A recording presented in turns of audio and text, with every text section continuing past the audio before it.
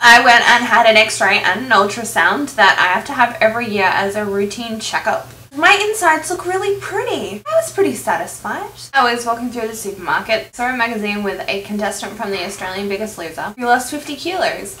And I was like, hey, that's similar to my weight loss. Awesome, go you girl. But then I got pissed off because I was like, why does she get to be in a magazine?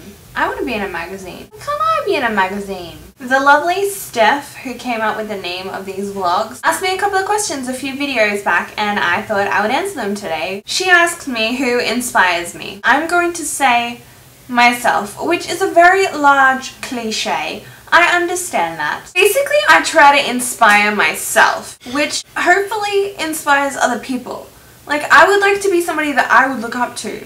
So that's how it works. It's kind of backwards. Steph also asked what my thoughts on cheese were. I have a strict no eating cheese policy. My thoughts on cheese are bad. Very bad. The only dairy that I will do is milk. I drink lots and lots of milk. Have you guys tried lemon in water yet? Because I really think you need to.